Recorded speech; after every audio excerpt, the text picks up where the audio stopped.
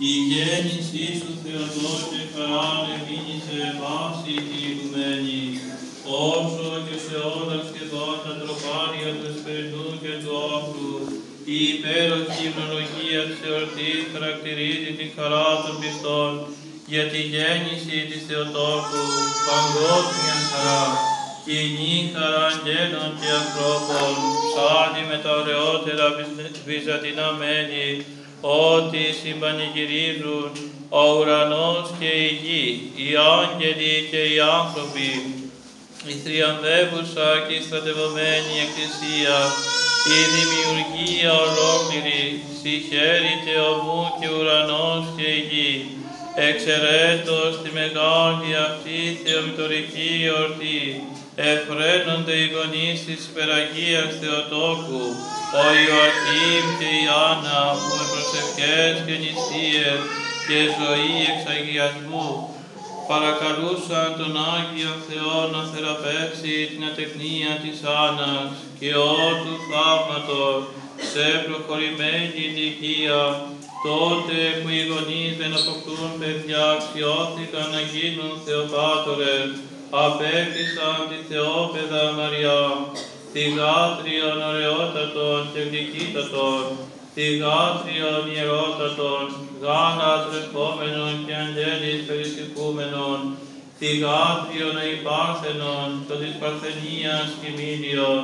θυγάτριον θεοπόθητον αξιόθεον, κάτος ανθρωπίνης φύσεως, όπως γράφει ο Άγιος Ιωάννης ο Δαμασκηνός, αλλά γιατί η γέννηση της Θεοτόκου μείνει σε χαρά σε όλη την οικουμένη. Ασφαλώς όχι μόνο διότι άνθρωπος εγεννήθη στον κόσμο, που είναι ούτως ή άλλως αφορμή χαράς, μεγάλο δώρο του Θεού να έρχεται στον κόσμο νέο παιδί, κυρίως η γέννηση της Θεοτόκου έφερε χαρά σε όλη την οικουμένη, για τον μοναδικό σπουδαιότατον ρόλο που επρόκειτο να παίξει Θεόπες Μαριά, θα υπηρετούσες στο ακατάληπτο μυστήριο της αρκώσεως του Θεού Λόγου, θα γινόταν η μητέρα του Θεού. Δικαίως λοιπόν πανηγυρίζει όλη η οικουμένη, εφόσον η δημιουργία δόρισε στο δημιουργό της το πιο υπέροχο από όλα τα δώρα μητέρα σε μόνη αξία του κτίσαντος. Η γέννηση της Θεοτόκου έγινε πανηγυρικά δεκτή από όλη τη δημιουργία, διότι ήταν προάγγελος σωτηρίας μας, όπως μετά από χώρητη άπνοια, όταν φυσήξει ελαφρό αεράκι, δροσιζόμαστε λιγάκι και ανακουφιζόμαστε, έτσι και μετά από την πνευματική ναύπνια της προχριστού εποχής, μόλις γεννήθηκε η Θεοτόκος, φύσηξε δροσιστικό αεράκι που ήταν προάγγελος σωτηρίας που θα ακολουθούσε με την ανθρώπιση του Θεού Λόγου. Η πρώτη μητέρα μας, η Εύα, μετά την παρακοή της στην εντολή του Θεού, έγινε πρόξενος λύπης για όλη την ανθρωπότητα, ενώ η δεύτερη μητέρα μας, η υπεραγία Θεοτόκος, με την απόλυτη υπακοή της να υπηρετήσει την Βουλή του Θεού στο μυστήριο της ανθρωπίσεως του Θεού Λόγου έγινε αφορμή χαράς για όλη την οικουμένη. Όλοι γνωρίζουμε ότι όταν ο Αρχάγγελος Γαβριήλ της είπε την ημέρα του Ευαγγελμού. Πνεύμα Άγιον επελεύσετε επί σε και δύναμη υψής του επισκιάσισι, διό και το γενόμενον Άγιον πληθύσετε Υιός Θεού. Η Πάναγνη κόρη της Ναζαρέτ έσκυψε τον αρχένα της ψυχής και του σώματος και απάντησε ταπεινά. Ιδού, ιδούλη Κυρίου, γέννητόμη κατ' το ρήμα σου υπήκουσε πλήρως το θέλημα του Θεού και με την υπακοή της ανεδείχθη της προμήτωρος έβαση η επανόρθωση. Αποτελεί ψήστη ευεργεσία του Θεού για όλη τη δημιουργία. Γεγονός ότι ο άνθρωπος ενηθρώπησε ή να εμείς θεοποιηθόμεν,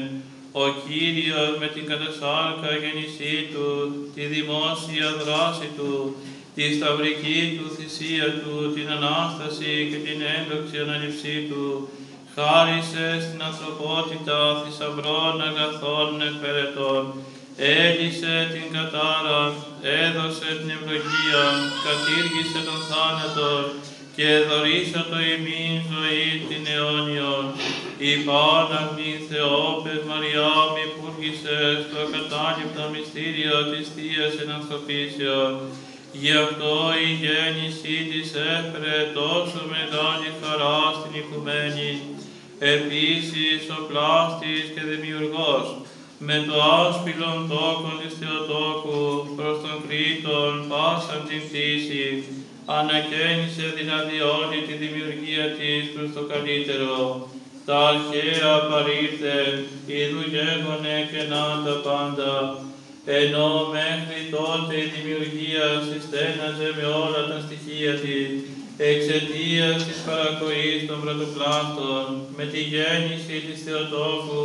και την ανθρώπιση του Σωτήρου Χριστού, συγχωρεύει και συνεορτάζει. Υπάρχει η παλιά συνήθεια, όταν γεννιέται ένα παιδί να επισκέπτονται οι συγγενείς στην οικογένεια που απέκτησαν το παιδί, για να συγχαρούν τη μητέρα για τον νεογέννητο και να αποθέσουν τα δώρα της αγάπης τους. Εμείς τι δώρα θα προσφέρουμε στο γενέσιο της Περαγίας Θεοτόκου, ο Άγιος Γρηγόριος ο Παλαμάς προτείνει να προσφέρουμε τον αγιασμό της ψυχής μας, την αγνία του σώματος, διαγραφίας και προσευχής, να ζούμε ζωή καθαρότητος και αγιασμού, εγκρατείας και προσευχής, όπως ζούσε η Παναγία, να υπακούμε σε εντολές του Θεού, όπως υπήκουε πλήρως η Παναγία, να γινόμαστε μέτοχοι της χαράς, με το να δεχόμαστε τη σωτηρία που προσφέρει ο Υιός και Θεός της και να την παρακαλούμε όπως κράτησε τη μητρική αγκάλη της των Κύριων και Θεών μας, έτσι να κρατάει και τον καθένα από μας που ζητούμε με πίστη την προστασία της. Με τα Θεού